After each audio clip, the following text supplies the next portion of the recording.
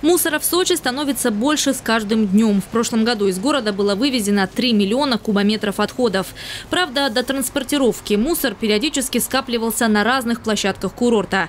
Сегодня полигоны очищены. К концу дня обещали опустошить и самый обсуждаемый мусорный полигон, что за авторынком.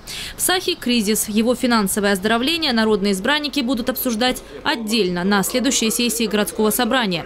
Сегодня же комплексно рассмотрели другой выход из сложившейся ситуации инвестиций, а именно работу регионального оператора организации «Чистый город», которая уже получила лицензию на сбор и транспортировку мусора. Много еще бросового мусора, те, которые без заключения договоров. Показано, что около 7% у нас населения еще не заключены договора, даже не заключены договора. Определенное количество юридических лиц, которые не заключили договора, согласно той же генеральной схемы, которая э, она есть, действующая, существующая. Для этого население должно заключать отдельный договор с САХом, либо с другой другой компанией, которая должна вывести этот строительный мусор. А он оказывается у нас на контейнере. Договора на одну сумму, а объем мусора другой. Поэтому здесь просто наведение порядка. И вот э, раздельный, кстати, сбор мусора, он как раз и поможет нам решить эту проблему. К раздельному сбору мусора в Сочи приступят в 2020 году. Региональный же оператор транспортировкой мусора за пределы города займется в четвертом квартале этого года.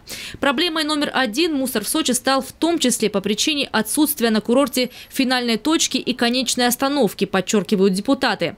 Утилизировать отходы можно лишь на заводе. И сегодня такая возможность появилась. Депутат Депутат Госдумы от города Сочи Константин Затулин стал инициатором того, чтобы одним из пяти городов, в которых правительство страны планирует строить мусороперерабатывающие заводы, стал Сочи.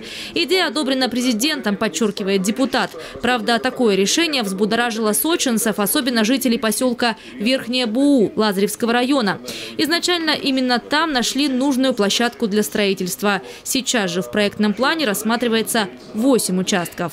Цена вопроса – это 23 миллиарда рублей. Стоимость этого завода производительностью 450 тысяч тонн твердых коммунальных отходов в год. Насколько я понимаю, на сегодняшний день город Сочи производит примерно 350, да, Юрий Федорович? Тысяч тонн отходов, хотя вы считаете в кубометрах, но вот если в тоннах говорить. Примерно так. То есть речь идет о том, что завод, который будет построен, будет работать на перспективу. При этом условием этого проекта является не увеличение тарифа с населением. Что касается беспокойства горожан по поводу загрязнения атмосферы, то они беспочвены, отмечает Затулин. Проект, который будут строить по программе «Зеленый тариф», экологически чистый. В Париже такой завод стоит рядом с Эйфелевой башней. В Вене он стоит в центре города.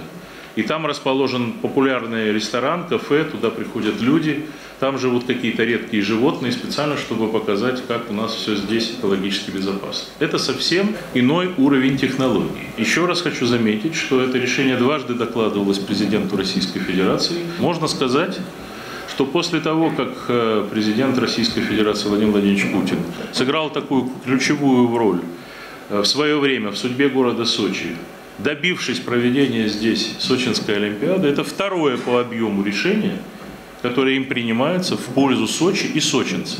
Заседание комиссии, на котором будет принято решение о строительстве мусорного завода в Сочи, состоится в правительстве страны на следующей неделе. Сочинские же депутаты сегодня приняли решение о создании своей комиссии по ЖКХ, которая будет контролировать процесс на местах.